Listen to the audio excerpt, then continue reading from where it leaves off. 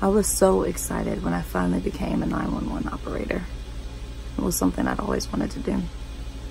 Mm. Like so many other people, it was so that I could save lives, be a superhero. And I knew that you can't always save all of them. You know, they they remind us that during training and I reminded myself as I got started and I was prepared. I was ready. I had made up my mind that even if I couldn't save them all, I was going to do my very best. And no matter what the results, I was going to leave knowing I did my very best. But nothing could have prepared me for that day. When I got the call, I started handling it just like I would any other one. I tried to I tried to keep him calm. I tried to just be there with him and tried to reassure him that someone was on the way to help. And they were. But I knew when he told me he was on the 108th floor. I knew they wouldn't get to him in time.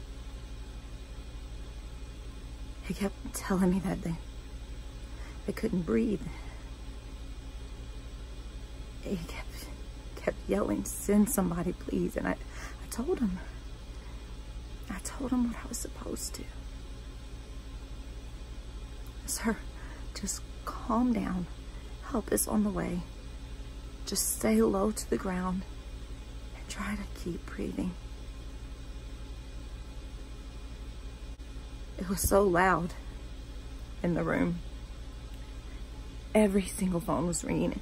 Thousands of calls flooding in, all from the same place.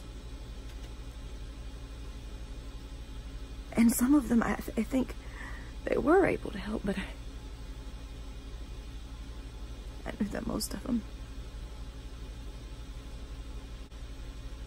I could hear his voice getting more and more shallow.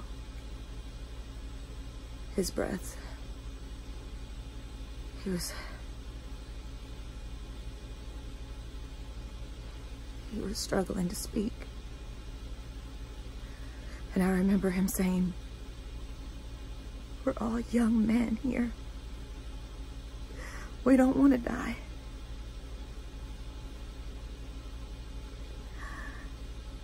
And I couldn't do anything.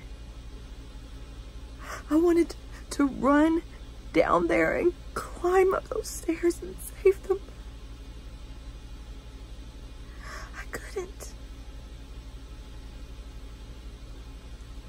And then I heard the most horrible sound I'd ever heard.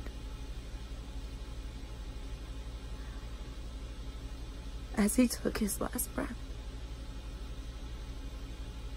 as he said his last word, I could, I could literally hear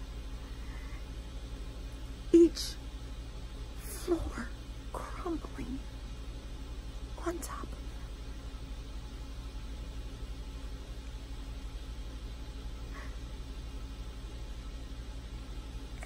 And then it was silence. I couldn't hear anything else, and not only that, but the, the whole room grew silent. The whole world was watching.